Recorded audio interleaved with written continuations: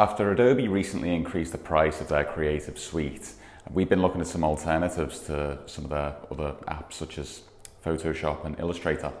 Hi everyone, I'm Craig from Swiftcase, the professional productivity platform, and today I'm looking at four alternatives to one of Adobe's most popular um, apps in their Creative Cloud suite, um, InDesign.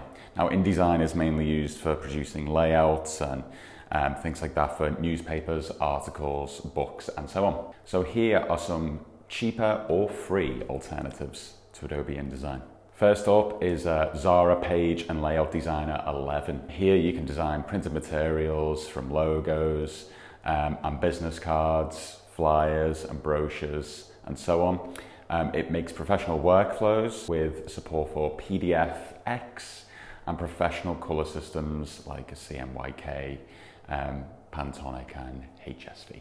Good stuff. The next one is uh, Scribus or Scribus not too sure. This is a free open source desktop platform available on, on pretty much anything really.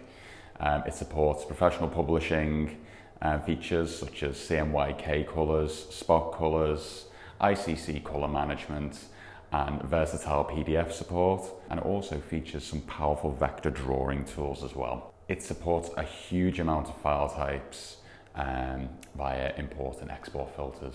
And one really cool feature actually is the emulation of color blindness or rendering of markup languages as well. So packed full of features worth checking out. Next up is Viva Designer. This runs on all operating systems and most modern web browsers as well. This is really user friendly despite having over a thousand functions. It's a great complement or substitution for InDesign or Express. It's economically priced and um, it's single purchase as well. One that's coming up finally is Affinity Publisher. There's a free beta download already and it's likely the best publishing program after InDesign.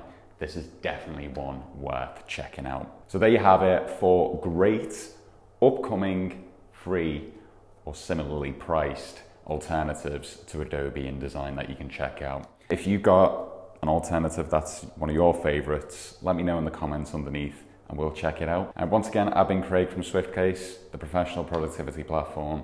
Thanks for watching the video and have a great rest of the day.